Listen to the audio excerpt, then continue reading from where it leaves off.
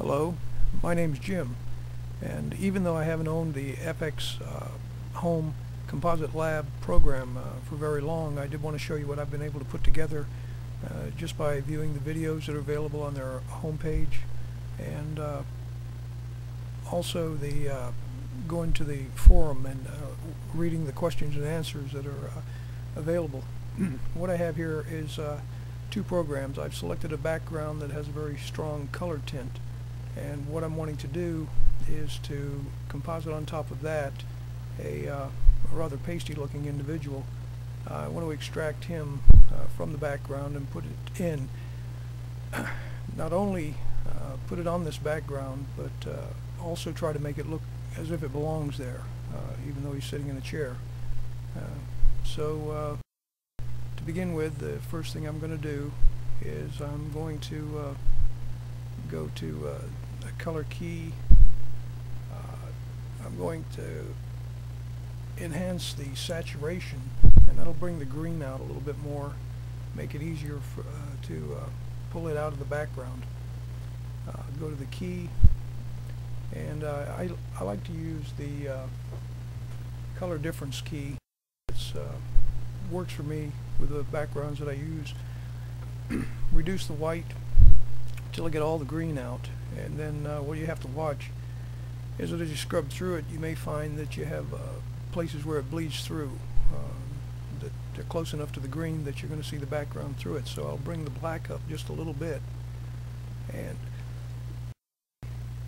what you notice happens then is that the uh, you get a little bit of a halo. You get this uh, jagged green color that surrounds the uh, the foreground individual there are a few tricks you can do to get rid of that.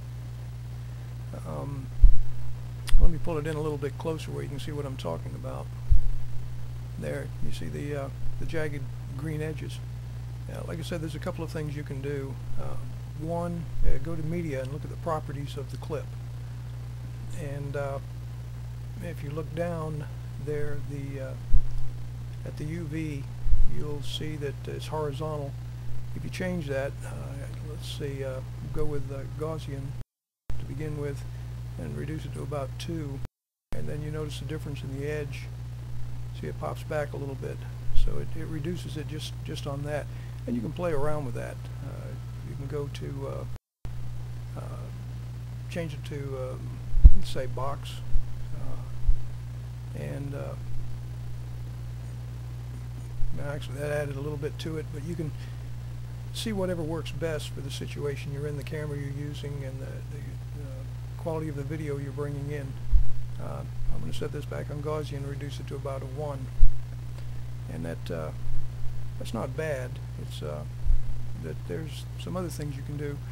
One is go to grade, and you use spill suppression. What that will do is that, as you can see, it takes all the green out. It uh, any green that's spilled over, it, it removes it. And you still have a, a fairly ragged edge, so we're going to go back and take care of that part. But in the composition, the, uh, the green itself will not be spilling into the, uh, the foreground subject. So we go to grade again, or uh, key again, and uh, we're going to erode, use the key erode white, and what that will do is actually sh uh, shrink the boundaries of the picture. So it'll take away some of that jaggedness, but there you, again, you've still got that harsh line showing that it has been looking as almost as if it's cut out. Uh, so to get rid of that, we'll do a Gaussian blur. Uh, it comes in at 10, but I think about a 3 or so, somewhere in there. Yeah, that makes it look a little softer. We go to composite, and you can see it starts to look more like it, it belongs there. It's, uh, it's not just pasted on top. Well, now the uh, next thing we want to do is uh, use a garbage matte. We want to get rid of this uh, uh, extraneous background uh, picture. And I'm not going to go into a lot of detail on that. I'm just going to remove it. There's a lot of good uh, tutorials and things out there that tell you how to do these sorts of things. Actually, there's probably some better to to, to uh, that you can look at on green screening even. Uh, it's just the method I use. Um, and there, there's no right or wrong. It's just uh, whatever works for you whatever gets you the best results. Uh, what you need to use. Okay, so as the background disappears and we go to composite to look at everything, well that's great except it looks like I've cut out a picture and pasted it on a sort of a greenish looking background and we want to do away with that effect. So what we're going to have to do is some grading. Um, the first thing I want to do is I want to uh, I want to get the contrast right and the best way for me to do that is I uh, will reduce everything to black and white and the way I do that is by desaturating. So I'll go here and desaturate everything then I'll call up the foreground subject and go to the grading on it and uh, by using the uh, Contrast Pro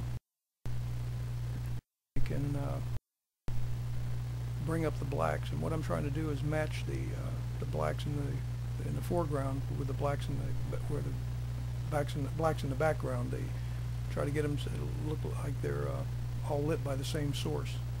Uh, initial lighting's important but you know this this helps too. And so I'll bring up the black a little bit. And okay that's uh, starting to look about where it needs to be but it's also taking the highlights out so what I'll have to do next is to bring down the white to bring the highlights back in and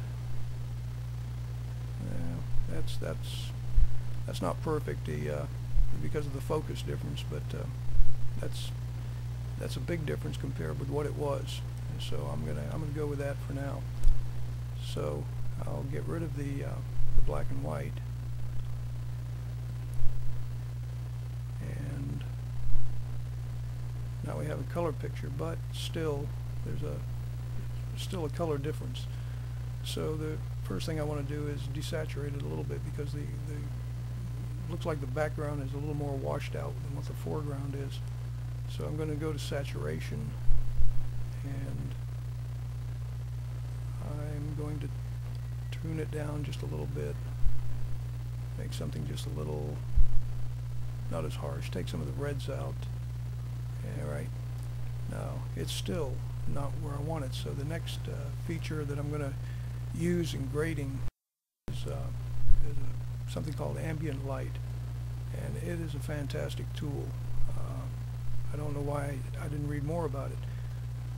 What I'm going to do is take the little eyedropper and I'm going to look for a place in the background that I consider rep is representative of the overall color of the background and use that. Now as I bring that up a little bit and uh, within reason, I uh, the foreground subject begins to look like it's picking up reflected light from the background and uh, you see before and after. Yeah, there's a there's a difference. So it, it looks again more and more like it belongs there, and that's um, that's one good place if you want to leave it there if that's what you're looking for. Or, you know, it's just a short scene you're passing through. The other feature you can do is uh, you can go in and uh, grade the entire project, and uh, to do that, there's many ways you can uh, what I'm going to do though is I'm just going to go with one of these uh, presets that comes with the program. There's one of there's a nice little preview box where you can see what it looks like. There's uh, one I've seen on here that looks like it might go well, and it's uh, Road to Perdition. Uh, might go well with this particular subject. I'll apply that, and now it looks more so than when I started that uh, that the subject belongs in there. And uh, of course I wouldn't have to stay with the uh, what's in this preset. I could go in and adjust that or even create my own preset. That's the nice thing about this program. Anyway, that's my tutorial and I thank you for watching. I hope it helped.